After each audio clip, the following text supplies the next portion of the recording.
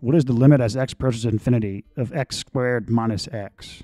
If we plug in infinity, x squared goes to infinity, and x goes to infinity. Infinity minus infinity, however, is an indeterminate form. You can't say this is zero because what infinity are you talking about? Is this 50 trillion, 100 trillion? If this is 500 trillion and this is 10 trillion, then this is not equal to zero. Infinity is not a specific number. When you have an indeterminate form like this, you can try rearranging your equation and see if you can get a determinate form. So let's factor out an x. Now let's plug in infinity. x goes to infinity, x minus 1 goes to infinity. Now infinity times infinity is a determinate form because an enormous number times an enormous number just gives another enormous number. So this limit is equal to infinity.